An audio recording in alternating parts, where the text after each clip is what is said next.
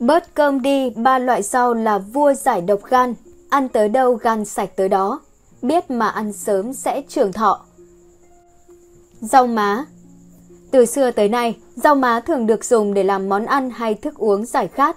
Vì rau má có tính mát nên nó giúp giải độc gan vô cùng hiệu quả mà an toàn cho cơ thể.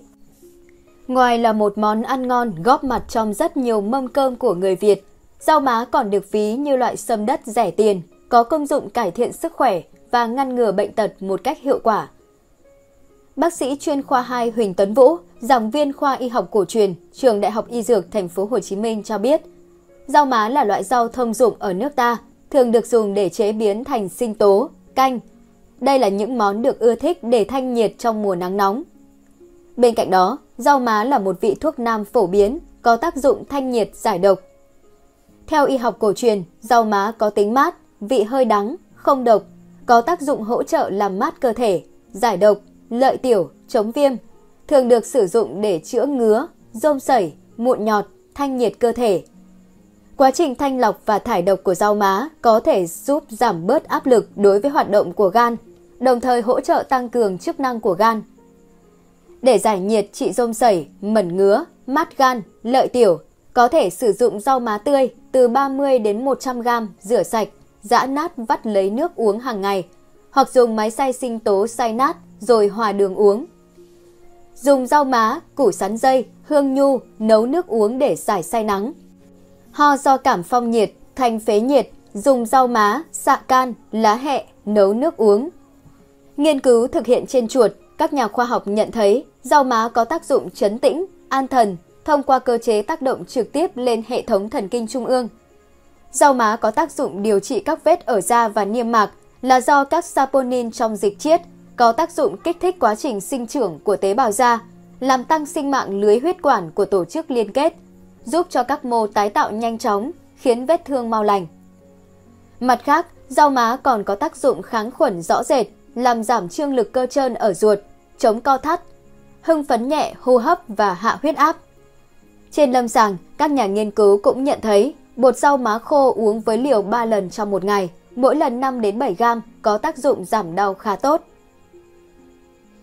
Rau diếp cá Là một thực phẩm quen thuộc trong mọi gia đình Việt Nam, rau diếp cá được biết đến với nhiều công dụng hữu ích cho sức khỏe nói chung và cho gan nói riêng. Vậy thực tế, rau diếp cá có tốt cho gan không?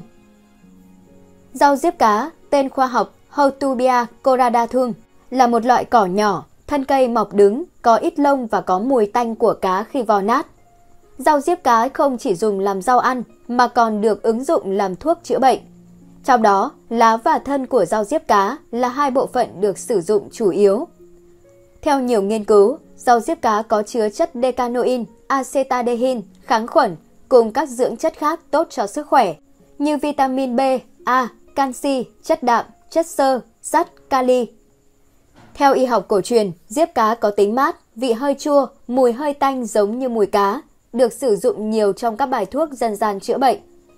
Còn theo y học hiện đại, rau diếp cá chứa desanosin acetadehin có tác dụng kháng khuẩn, cùng các dưỡng chất tốt cho sức khỏe khác như vitamin B, A, canxi, chất đạm, chất xơ, sắt, kali.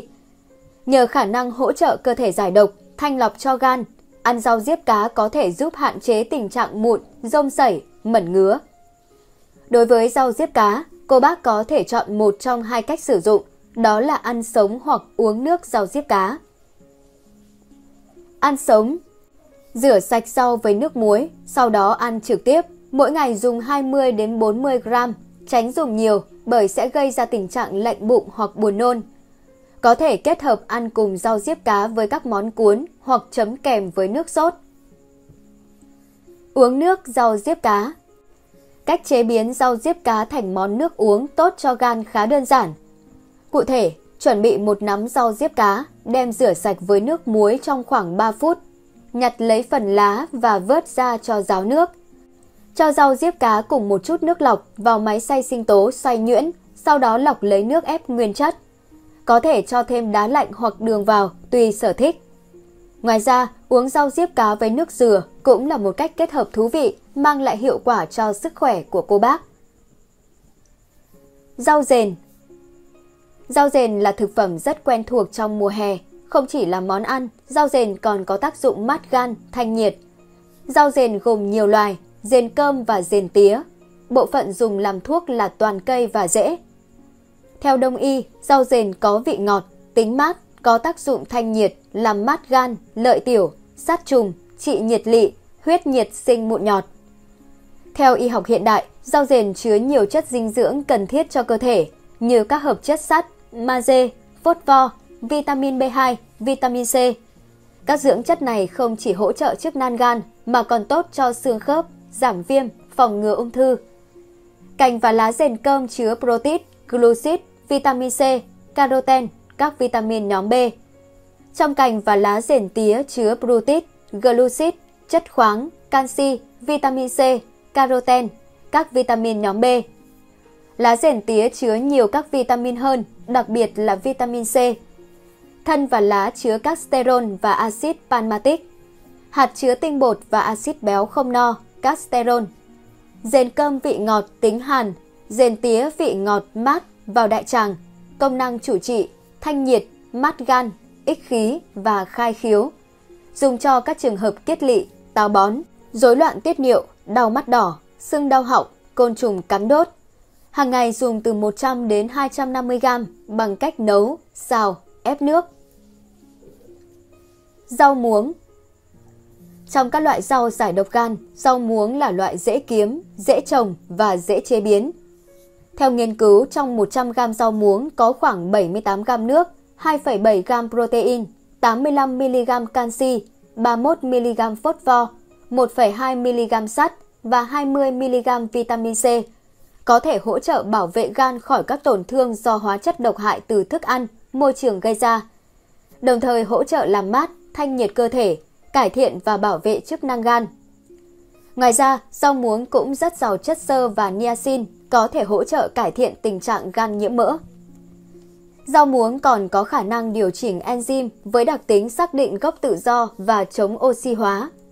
Vì thế rau muống giúp cơ thể được bảo vệ trước các tổn thương ở gan gây ra bởi hóa chất độc hại. Thực phẩm này không chỉ giàu chất xơ mà còn giúp giảm cholesterol và triglyceride của cơ thể, nhất là cholesterol xấu. Không chỉ tốt cho gan mà rau muống còn được biết đến với tác dụng ngăn ngừa táo bón, tiểu đường và các bệnh về tim mạch. Là loại rau giàu chất xơ nên rau muống vừa ngăn ngừa táo bón, vừa hỗ trợ chức năng tiêu hóa trơn tru hơn. Khả năng nhuận tràng này của rau muống rất tốt với những ai hay bị táo bón, đầy hơi, khó tiêu. Người bị táo bón nếu uống một cốc nước ép rau muống có thể cải thiện tình trạng này. Thường xuyên ăn rau muống có thể chống lại oxy hóa và stress do tiểu đường. Đây cũng là thực phẩm được khuyên dùng để điều trị bệnh tiểu đường thai kỳ. Vitamin A, C và beta caroten trong rau muống hoạt động như một chất chống oxy hóa tự nhiên, giúp làm giảm gốc tự do để ngăn ngừa oxy hóa, cholesterol cho cơ thể. Nếu cholesterol bị oxy hóa sẽ dính vào thành mạch máu và làm cho động mạch bị tắc nghẽn. Đây chính là nguy cơ gây đột quỵ, đau tim. Mặt khác, folate trong rau muống còn có khả năng chuyển hóa hợp chất nguy hiểm là tác nhân gây đột quỵ, đau tim, đó là homocysteine. Magie trong rau muống có tác dụng hạ huyết áp, phòng ngừa bệnh tim. Chính vì vậy, để gan được khỏe mạnh thì cô bác nên bổ sung thêm món rau này vào trong thực đơn hàng ngày nhé. Ngoài ra, cô bác lưu ý rằng hầu hết các vùng trồng rau muống ở nước ta đều có đặc điểm nhiều bùn lầy, nước nông nên rất thuận lợi cho sự sinh sống và phát triển của ký sinh trùng, vi khuẩn. Nếu ăn rau muống mà không sơ chế kỹ thì nguy cơ bị các tác nhân này xâm nhập là rất cao. Do đó, trước khi chế biến bất cứ món ăn nào từ rau muống, cần sơ chế thật kỹ, rồi rửa dưới vòi nước sạch và ngâm với nước muối hay dung dịch rửa rau để loại bỏ các tác nhân xấu gây bệnh. Súp lơ xanh, bông cải xanh Súp lơ xanh cũng là một trong những loại rau giải độc gan hiệu quả, được nhiều chuyên gia khuyến nghị. Súp lơ xanh chứa nhiều hợp chất kích hoạt enzyme giải độc của gan, nhờ đó tăng cường chức năng và bảo vệ gan hiệu quả. Ngoài ra, loại rau này còn có tác dụng ngăn ngừa gan nhiễm mỡ nhờ vào chất sulforat van, có tác dụng giảm hấp thụ chất béo trong gan. Bên cạnh đó, súp lơ xanh còn chứa nhiều chất chống oxy hóa, giúp phòng ngừa, ngăn chặn các tổn thương do gốc tự do. Đặc biệt, hợp chất thiocinat trong súp lơ có thể giúp loại bỏ độc tố trong gan. Súp lơ xanh là một trong những loại rau tốt nhất cho gan. Nguyên nhân bởi súp lơ xanh rất giàu kali, protein và vitamin C, phốt pho Chúng cũng chứa các chất chống oxy hóa phòng ngừa, ngăn chặn những tổn thương do gốc tự do gây ra. Loại rau tốt cho gan này có thể làm tăng số lượng các enzyme giải độc trong gan. Nhờ đó, chúng bảo vệ gan khỏi bị hư hại. Súp lơ xanh cũng có tác dụng ngăn ngừa gan nhiễm mỡ, mang lại sự cân bằng cho gan. Chất sulforaphan trong súp lơ xanh có tác dụng giảm hấp thụ chất béo. Vì vậy chúng phòng ngừa, ngăn ngừa và hỗ trợ quá trình điều trị sơ gan, ung thư gan. Những lưu ý khi ăn rau giải độc gan Để mang lại hiệu quả giải độc gan, cũng như bảo đảm an toàn cho sức khỏe, cần lưu ý một số vấn đề sau. Nên chọn mua rau sạch, không có thuốc, hóa chất độc hại để đảm bảo an toàn cho sức khỏe. Nên thay đổi các loại rau trong thực đơn hàng ngày, tránh việc sử dụng quá nhiều rau nhằm mục đích giải độc gan. Việc sử dụng rau giải độc gan cần phải kiên trì trong thời gian dài. Đặc biệt, khi cơ thể xuất hiện các triệu chứng suy giảm chức năng gan như rối loạn tiêu hóa, nổi mẩn đỏ, mề đay, mụn nhọt, nước tiểu vàng, vàng mắt, vàng da, đau hạ sườn phải, cơ thể thường xuyên mệt mỏi, cần đến ngay cơ sở y tế để thăm khám và chẩn đoán nguyên nhân, có phương pháp điều trị kịp thời. Công dụng thần kỳ của lá đu đủ ai cũng nên biết. Lá đu đủ là một loại lá phổ biến tại nước ta. Khá nhiều người truyền tai nhau rằng các hoạt chất có trong lá đu đủ có tác dụng tốt đối với sức khỏe. Nhưng thực tế, lá đu đủ có lợi ích gì và những ai không nên uống nước lá đu đủ? Trong chương trình ngày hôm nay, ban biên tập chương trình sẽ cập nhật cho cô bác một số thông tin có liên quan về loại lá này ngay sau đây. Hỗ trợ điều trị bệnh sốt xuất huyết Một công dụng của lá đu đủ mà có thể cô bác chưa biết đó là khả năng làm giảm các triệu chứng của bệnh sốt xuất huyết. Lá đu đủ có tác dụng làm tăng lượng tiểu cầu trong máu, trong khi bệnh nhân mắc sốt xuất huyết thường gặp phải tình trạng tiểu cầu bị giảm, kéo theo đó là các triệu chứng như sốt, mệt mỏi, đau đầu, buồn nôn. Việc sử dụng lá đu đủ có tác dụng tốt đối với bệnh nhân sốt xuất huyết. Bên cạnh đó, nó còn khá an toàn và dễ thực hiện.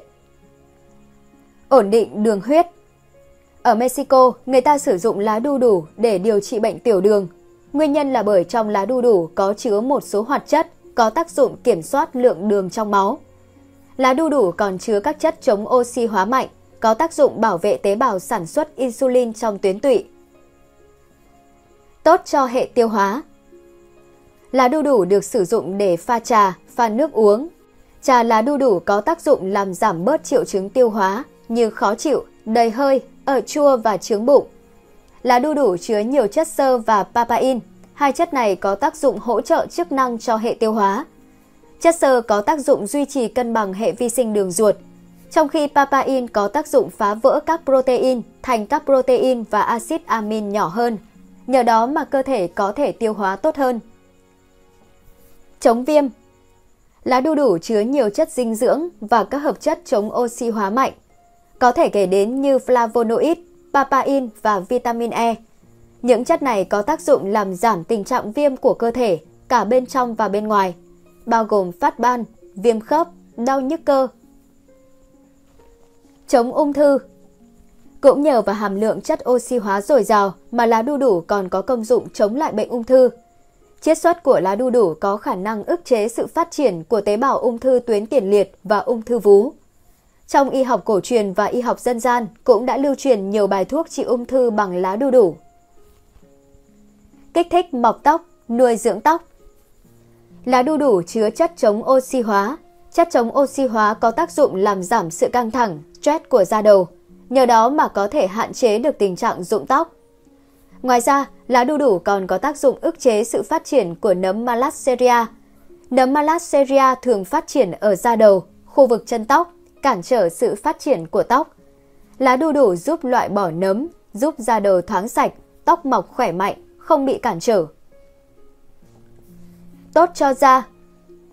Lá đu đủ có thể giúp cô bác có một làn da mềm mại, sạch mụn và căng mịn. Lý do là bởi loại enzyme này có tác dụng phân giải protein, làm sạch và loại bỏ tế bào chết. nhờ đó làm sạch lỗ chân lông, giảm nhờn và ngăn mụn hình thành. Các chất chống oxy hóa có tác dụng ngăn sự tấn công của các tế bào gốc tự do, làn da được bảo vệ, trở nên căng mịn và đẹp hơn. Ngoài ra, lá đu đủ còn có tác dụng thúc đẩy nhanh quá trình làm lành vết thương và làm mờ sẹo. Vậy là trong chương trình ngày hôm nay, cô bác đã biết thêm về 5 loại rau đại bổ tốt cho sức khỏe của gan và những công dụng thần kỳ của lá đu đủ. Hy vọng rằng những chia sẻ này sẽ giúp cô bác bảo vệ và cải thiện sức khỏe của bản thân và gia đình.